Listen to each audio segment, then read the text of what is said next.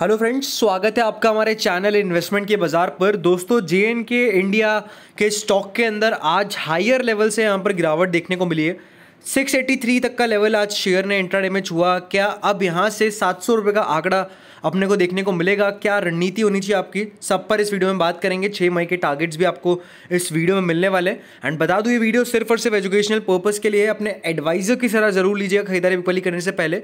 शुरुआत करें स्टॉक के इंट्राडे के मोमेंटम की तो six eighty two rupees sixty पैसे का आज का इंट्राडे हाई है, और छः सौ पैंतीस रुपये पचहत्तर पैसे का आज का इंट्राडे का लो है। स्टॉक ने कुछ यहाँ पर क्लोजिंग दी है। तो हाई से काफ़ी बड़ी गिरावट अपने को इस शेयर में आती हुई देखने को मिली है। इस गिरावट के पीछे के अगर अपन कारण देखेंगे तो पहला कारण है मार्केट। मार्केट में बिल्कुल भी दोस्तों आज मोमेंटम नहीं था। आज निफ्टी ने गिरावट करी हायर लेवल से तो काफ़ी ज़्यादा मार्केट गिरता हुआ देखने को मिला है, जिसके चलते ये शेयर गिरता हुआ देखने को मिला है। प्लस दोस्तों ओपनिंग आज स्टॉक की बढ़िया आई थी और जैसे स्टॉक ने अपना ओपन का जो लेवल है वो थोड़ा नीचे की तरफ़ तो गिरावट यहाँ पर बढ़ी हुई है। तो ये दो मेजर कारण है स्टॉक के अंदर के सेलिंग प्रेशर की। रही बात यहाँ पर दोस्तों टारगेट्स की तो बेसिकली लॉन्ग टर्म में यहाँ पर टारगेट्स दिए हैं कि अच्छे फंडामेंटल्स है कंपनी के तो लॉन्ग टर्म में यहाँ पर अच्छे लेवल्स अपने को बनते हुए देखने को मिल सकते हैं। टारगेट प्राइस यहाँ पर नहीं बताइए बट ये कहा है कि लॉन्ग टर्म में कंपनी होल्ड करने लायक है यहाँ पर। रही बात दोस्तों स्टॉक के हाई की तो ऑलमोस्ट अपने हाई से 8.05 परसेंट का गिरावट शेयर कर चुका है। सात सौ का शेयर का ऑल टाइम हाई और छः सौ इक्कीस का स्टॉक का आप कह सकते हैं फिफ्टी वीक लो है। तो ये डेफिनेटली दोस्तों काफ़ी आप कैसे गिरावट भरा स्टॉक रहता हुआ देखने को मिल रहा है। सिक्सटी सेवन परसेंट ऊपर ये आईपीओ लिस्ट हुआ था क्लोजिंग आई थी इसकी।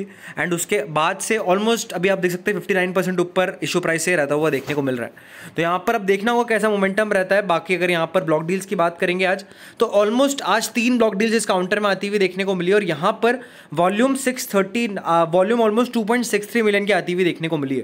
Provisional closing six thirty nine के आसपास आती हुई देखने को मिली एंड यहाँ पर डेफिनेटली इंट्राडे हाई से काफ़ी बड़ी गिरावट हुई है इस काउंटर के अंदर।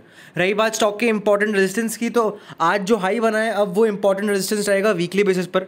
अगला जो हफ़्ता है, अगर सिक्स एटी थ्री रुपीज़ के ऊपर शेयर निकलता है तो ज़रूर दोस्तों तेज़ी बनेगी। बाकी मुझे लगता है कि अभी कंसोलिडेशन की रेंज में ये शेयर घुसेगा, और वो जो रेंज है, वो है छः सौ रुपये से छः सौ पैंतीस रुपये की।